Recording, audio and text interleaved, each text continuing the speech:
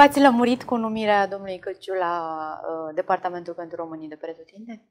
Știu mai că este, erați... Mai este domnul Căciu acolo, că nu, știu că erați supărat. N-aud, n-aud să aibă vreo activitate. Uh, nu cred că... Eu mențin părerea. Numirea dânsului n-a fost potrivită.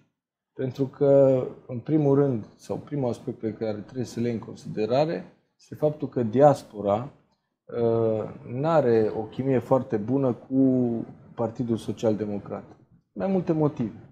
Și cred că uh, acolo trebuia să fie un alt fel de om și în același timp cred că ar trebui să aibă mult mai multă activitate, mai ales în contextul dat. Iar un alt fel de om, la ce vă referiți? Adică un alt fel ce... de om care se apropie mai mult de uh, ceea ce diaspora își dorește. Pentru că nu este foarte greu de văzut.